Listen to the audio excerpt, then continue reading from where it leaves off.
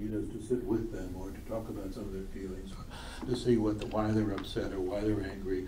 Uh, if we just put them when we don't deal with the causes of what's going on, and, and there are reasons why children behave in the way they do. It's important to find out and find out what's going on and try to help that child deal with the emotions. It's much more effective than simply putting them in a timeout. Sometimes we do need timeouts, but we have to recognize that oftentimes timeouts are for us, not for the kids.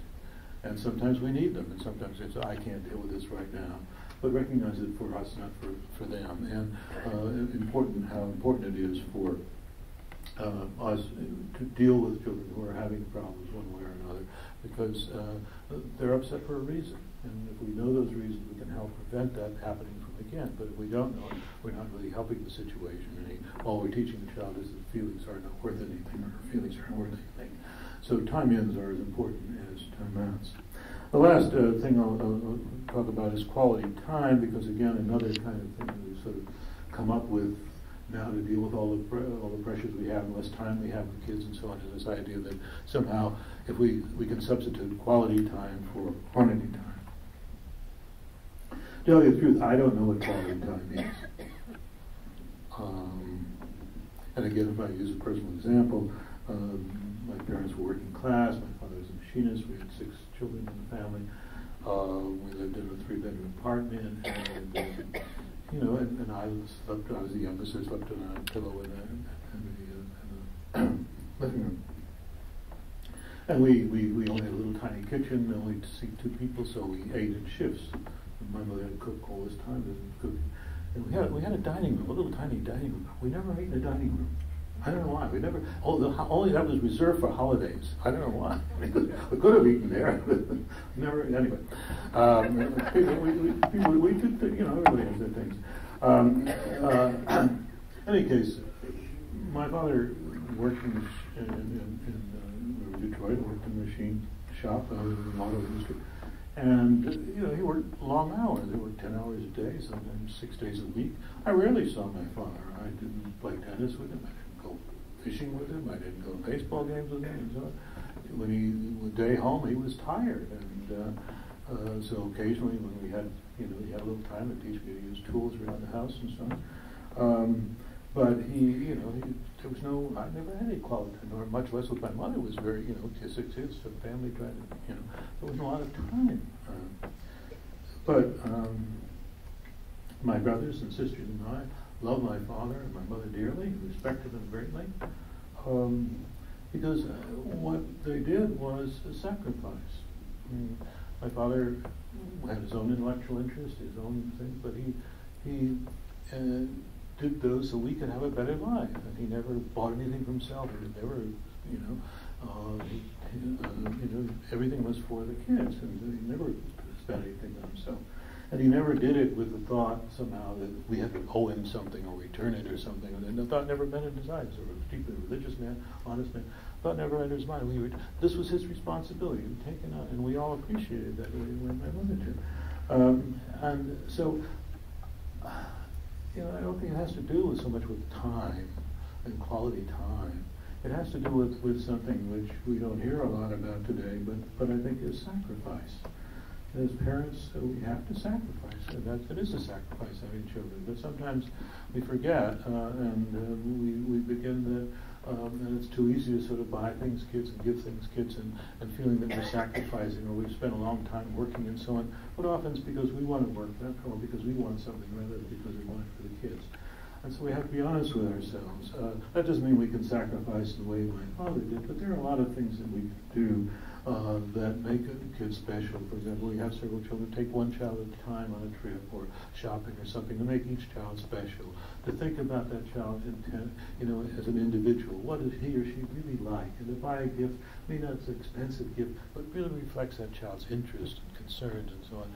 All those things are writing notes or when we're away or all of those things. And doing something, sometimes things for the kids which they can do for themselves. The kids are always making their breakfast right away. Make breakfast for them one day. So it, it, it's, you know, it's little things, but uh, it's so important that kids feel that we, you know, the so most important thing we can give children really is a sense that they're important in our lives and we care about them deeply. They're important in our lives. If a child has that, that's what our parents gave us, my parents, you know, That's the most important thing. You, if a kid feels wanted, feels important in somebody's life, and you know that somebody cares about him deeply, however that's conveyed, doesn't have to be conveyed by playing baseball or by you know going to dances together, whatever. It has to be conveyed by, by showing in whatever way you can that, that you know that we're willing to sacrifice for them. That's why saying no is so important to kids. Because when we say no to an adolescent, when we set limits, we're saying we care enough to say no. We care enough to deal with the confrontation. We care enough to be with the fact that you're not going to like this and you're going to argue with us and so on. We care enough for that. As some teenagers tell me, you know, about a kid who had e- easy access to his parents' liquor cabinet. They must not love that kid, or they, they wouldn't let him do that with it. So when we set limits, when we say no, when we, that's one way that we sacrifice, and kids know that. Well, um, so I, I think that we just have to rethink some of these things. It's easy now in our postmodern lives and busy lives to forget some basic essentials about children and what children need. Um, well, I, I do a lot of television. I was getting on a plane recently in Logan, and so I walked down the aisle. A gentleman got me by the sleeve and said, "You, you, you, you." Said, "You, you, you. I've seen you on television. Uh, you, you, you. You're somebody." He said, and that made me feel good. but it also made me reflect that we all need to feel we're somebody, and that's certainly true for children and adolescents. We wait to take the time and make the sacrifices, to give them, you know, the feeling that they're really important in our lives, that we care about them deeply, to give them all these wonderful good experiences that help them deal with whatever bad experiences they may have later. Thank you all.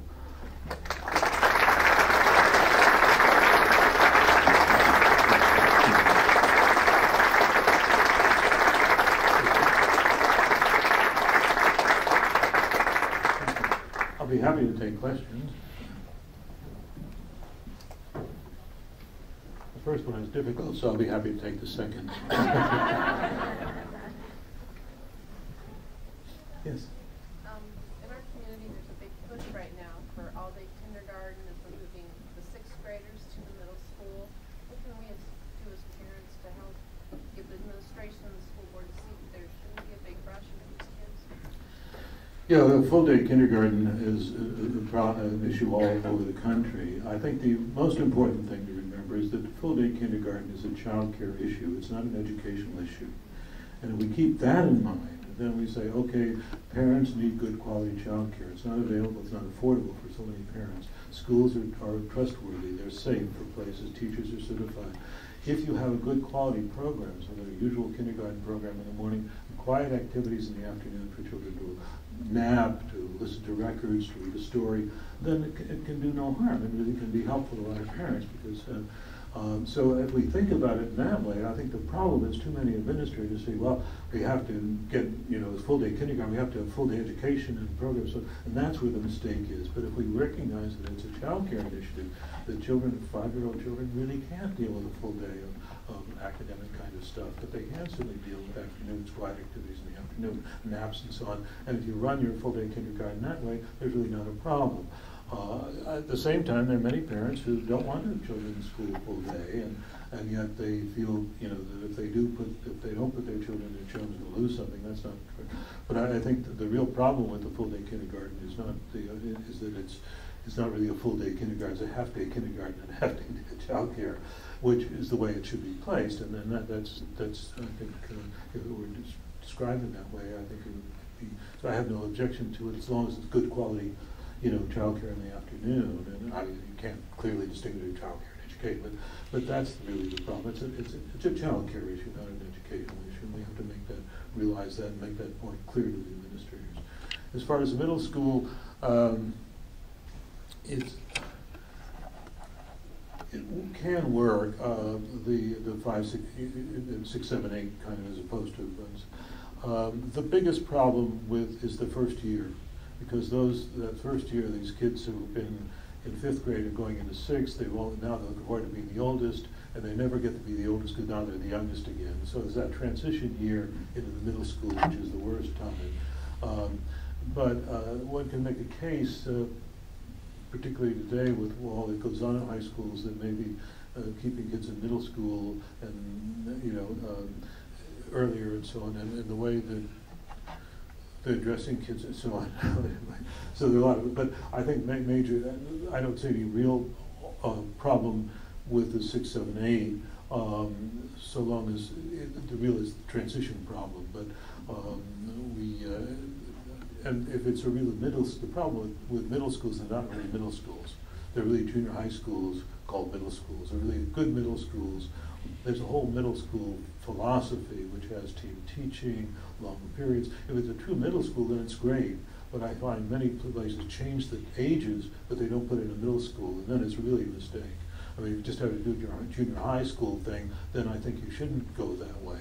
But if it's gonna be a true middle school, then I think one can do that. And so again, the problem we have is talking to le- legislators, administrators, who, you know, it really is such a, and I I struggle with this all the time, how do you, you know, the, um, school system after school, so many, you know, just, this is what we're supposed to be doing, and they do it for economic reasons, or they do it for busing reasons, or something else, and so it gets, um, um, anyway, I'm, I'm getting off, but, but it really is, uh, the, the uh, full-day kindergarten childcare issue, and, and the, the, the uh, middle school is fine, so long as it's a true middle school.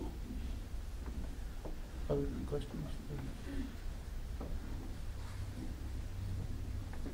Yes? Do you have a rule of thumb about how many activities a child should be involved in? For school-age children, generally three, one, uh, one sort of social activity like Boy Scouts, Girl Scouts, one athletic activity, um, and then, uh, one sort of extracurricular activity like music lessons or art lessons or something. That's all children need, and only an hour or two in bus practice and so. That's really all most kids need. They don't need.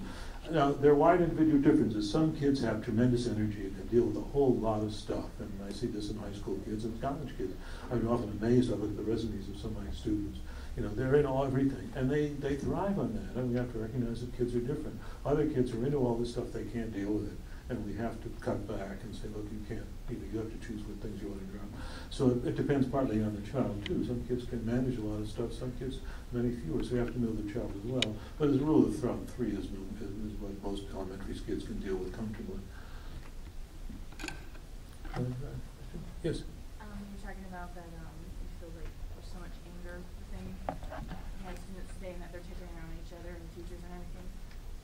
Um, so, for me, like, I'm just gonna try and use an example and ask a question at the same time. Like, I had an example of that looking in the classroom or with some art and, you know, the kids were either wanting to use profanity or or to decorate the the backdrop with pot, pot leaves. And so here I am. I'm like, I don't think so. But then you keep doing it, and you're like, it, it builds up more um, chaos in, in the area that you're in. And then finally, I just gave in, and I said, well, you know, in my art, a lot of times I put things that people don't know what I'm doing. You can make a pot leaf look like something that isn't something I can tell it's a pot leaf, and I don't care what you do. I can't control you. And I guess I gave up, and I felt bad that I gave up, but I didn't know what else to do because we had a project that had to be done, and I, and so, but you know, the anger and the just the try the rebellion to get, and I know some of that is normal, but it was just how do you? I mean, it, it, I have the idea that I'm dealing with very angry children, and you, you know that from the way they act. What do you do to get them to not be that way? well, it, it's, you didn't cause the anger. They're coming to school with that anger. That's the problem. And, it, and one of the problems that teachers have today, of course, is, is, is discipline because so many kids come in angry and resentful and so on. And, and there's not always a lot of things you can do. Sometimes you just say, this is the way, set limits and say, we, these are the things we do and these are the things we don't do in this classroom. Or these are the things we draw, these are the, you know, and outside the class you can draw whatever you want, but you're in here, this is what you draw. And uh, so just set limits like that, and, and, and sometimes that doesn't work either. There's only so much you can do, and, and uh, some kids, you know, are, are really so far out of it that, that um, um, sometimes, you know, I think sometimes we have to simply refer them, but it, it, it, I hear this wherever I go. Teachers are confronted constantly with these kids who, um, you know, are upsetting the whole class, and if you attend to them, then you can't deal with the rest of the class, and then you have to send that child out and, and just recognize that, that this particular child is a, is, is not gonna be, you're not gonna be able to deal with that child. So sometimes you have to really, because, um, if you, some, we all want, I think as teachers, we all want to save these kids. We're going to feel that we're not, we're a good teacher, we're able to handle it. And sometimes we have to realize that no matter how good we are, we're not going to be able to handle it. And it doesn't reflect on us if we can't handle it. Because uh, there are a lot, the schools aren't the way they were. Schools are very different places today than they were. Uh, and I think we should, administrators would, would realize that, and, and the politicians would realize that, that they talk about math and science, and they don't realize what teachers are dealing with in the classroom, you know? That the kids are coming in very different today, and plus teachers are burdened with, with, uh, you know, you have a, a character education, and drug and sex education, and, you know, multicultural education, and, and whatnot, you know, and then values clarification, all of this stuff, the teachers being asked to do much more than ever before, not giving any more support for credit for being in all this takes time, you know, and so you don't have time to do the other things, you know, and, and so, you know, I, I, it's always puzzling. The administrators, the colleges, they always can find money to find more work for teachers to do. But there's never any more money to pay teachers more, you know, there's always. I just, you know, I think it doesn't, and so I think when they talk, that we're still just math and science is the only thing teachers are doing, but there's so many other things that are put on the plate that you can't do the things, plus all the administrative stuff and all the testing, so it's, it's very tough, and I, we're fighting as much as, uh, in all the organizations I belong to to try and get, you know, heard, uh, but unfortunately, I, you know, current administration seems to be, uh, you know, I don't, you know, I don't know anything about politics. I don't know a single about, I, I wouldn't dare to tell anybody how to write a policy or how to get it through Congress. I don't know why a politician should think he or she knows everything about education, you know? And they can tell us what to do and so on. Is it, is it, so anyway, it's, it's very, well, somehow they feel education is very simple and it's a, education is a very complex system, very complex. And, uh, um, you know, you can't, there are no simple fixes, um, and I wish we could get that message across. Yes? Do you have any research or any knowledge of, of a real effective program, um, for the schools, like in psychology, so are there any programs that are innovative where they're putting more psychiatry, psychiatrists, psychologists, you name it, more counselors in the schools so that we can deal with anger, because it's not just one in a class, Yeah. it's yeah. many.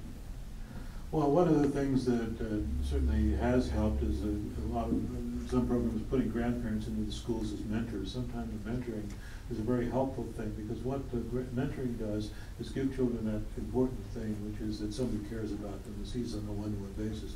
So I've found schools where mentoring is well done, have done, that you cut down a lot of this stuff because it's the, what a lot of kids are angry about is it's simply, they're not known by nobody cares about them, they're not important to anybody. And I think if you contra, you know, you don't need a psychologist, you don't need a psychiatrist. Sometimes, you know, in one of the schools, they try to get, you know, professionals in the community. Of the professionals in the community mentored once or twice and then disappeared. Didn't have the time. The people who mentored the kids were the secretaries, the custodians, the people in the, in the, in the food service, and they did an enormous job with these kids. So I think we had, and they were the people who had less time, less money, you know. So the mentoring is, is I think one of the best systems we can in this, in this day and age. And if you have, a if you, many grandparents are eager to do this if you can recruit them and so on. So if you get an organization, recruit grandparents to come in the schools, it's, it's wonderful with the kids. So I think that's one of the best, you know, facilities that you have and ways to deal with it. Yes? Um, are you suggesting that we're stressing out children by teaching them the, the difference between good touches and bad touches then, regarding sex education or, or sex Yes, we are, uh, because uh, the, the, the question is, are we, are we stressing children by teaching good touching and bad touching? All that we know is that, about young children, is that they can't make those discriminations.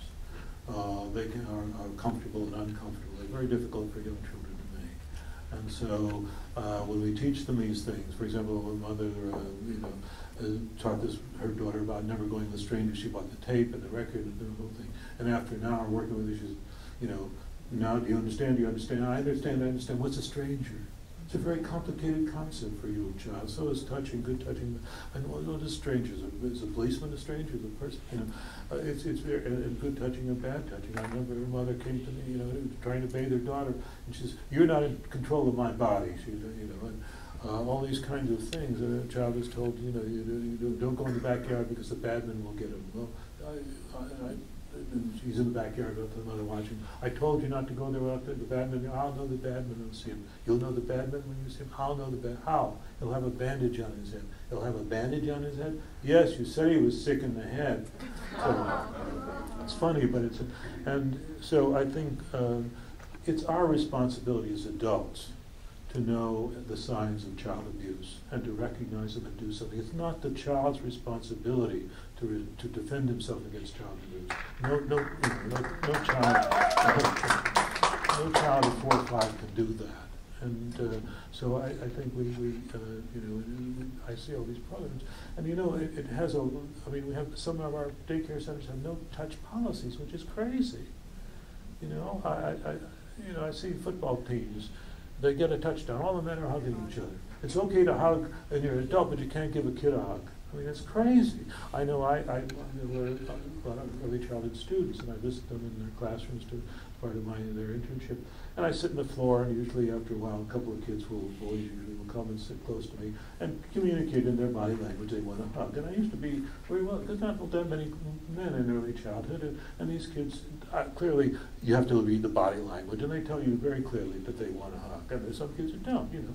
Um, but I'm reluctant to do that because I don't know what these kids are, and it's so sad. It's so sad because these kids really need a hug, and now we get into all this nonsense. So uh, again, it's it's pushing it down, and it's making making children take responsibility for it, what, what should be adult responsibility, and it's again this pushing. The children are competent to do these things, and I ju- just um, it really is a terrible mistake. Yes. The Swiss have always been pioneer in the field of education, and uh, some of the bigger names like Piaget, Pestalozzi, Marcus Aurelius all come from Switzerland.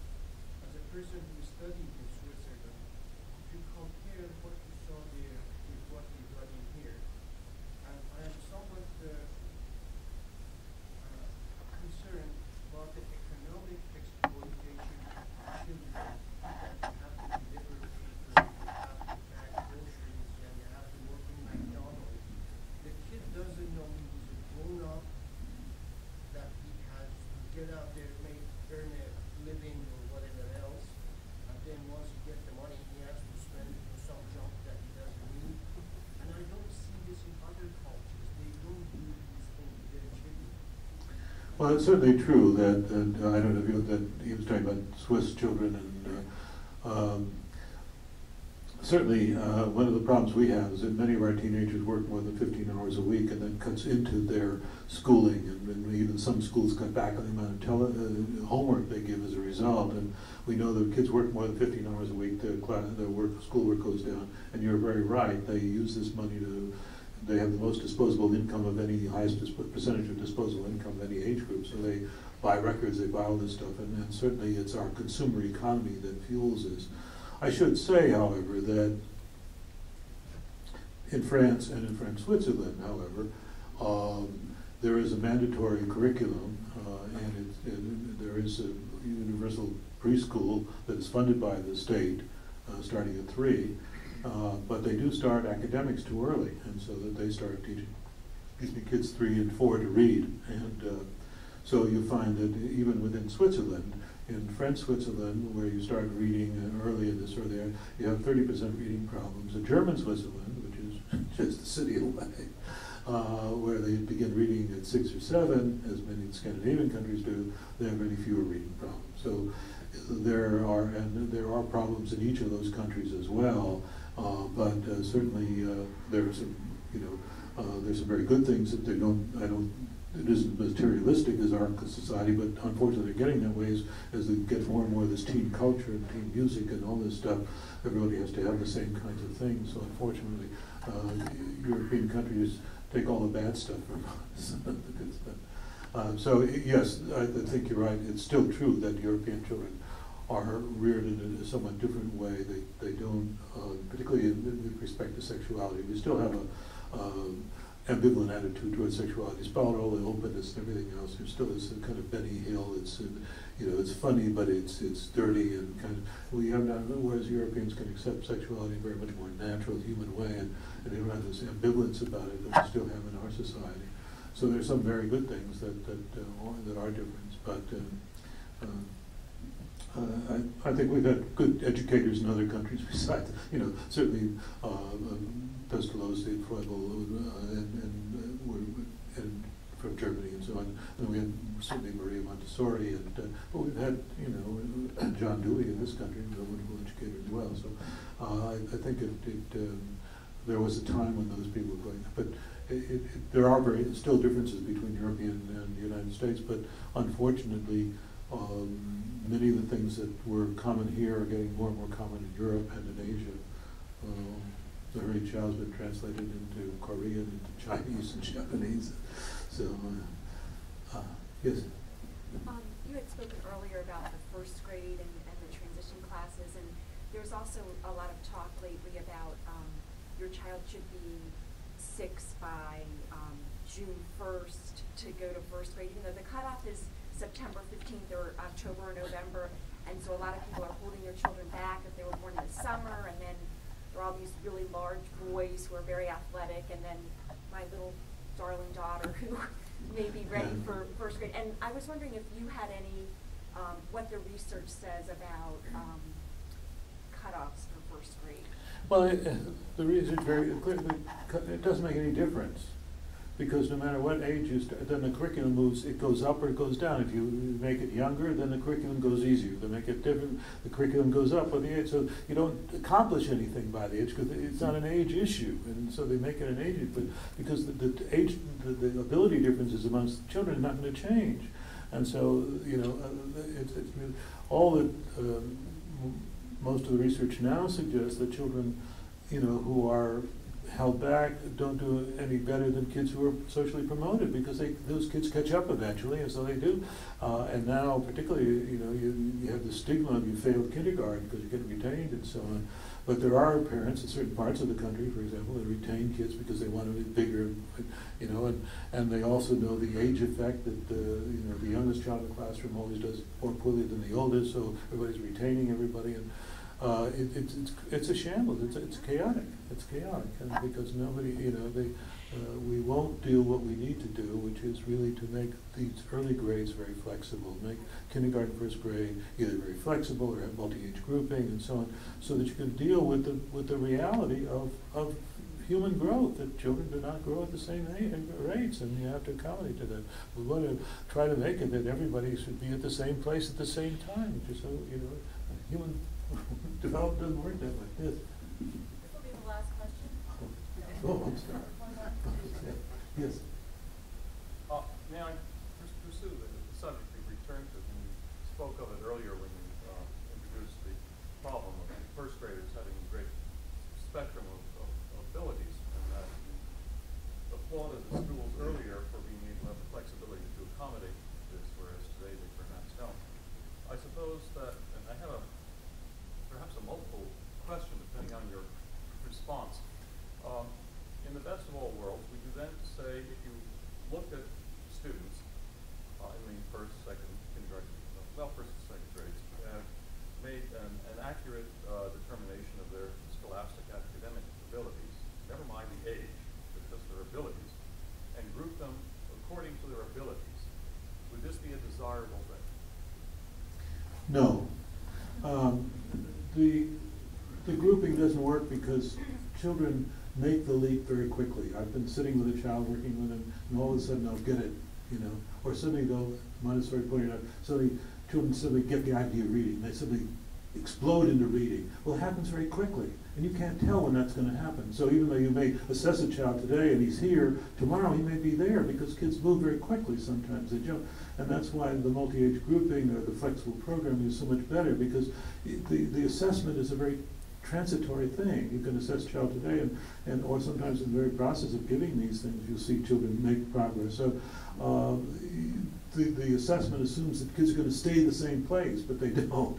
And so the, the nice thing about the flexible grouping is you can have some of the older kids working with younger kids, and kids working with kids about the same ability. Uh, but and then when they move ahead, they move ahead. And, and uh, uh, but I, I think assessment is is too fragile, and their their, their movement is so rapid sometimes that it really doesn't make a lot of sense. And, and what, you can do that within the classroom, multi-age grouping, have kids working, but as soon as they make the leap, then they can go to the other group. But if they're in an isolated group, then uh, moving from one group to the other is much more difficult.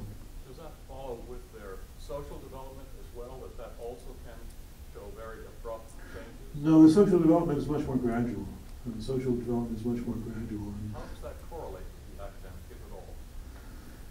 It can in some children, others not. Many kids are very advanced academically, but very poor socially, and other kids they both go together, and some kids are very advanced, you know, socially and not academically. So again, there are tremendous individual differences, and uh, you know, you, you just can't um, say one thing is, you know, that's why again, a flexible program which recognizes that kids are all over the place, and that's human, and that's normal, and that's the way kids are.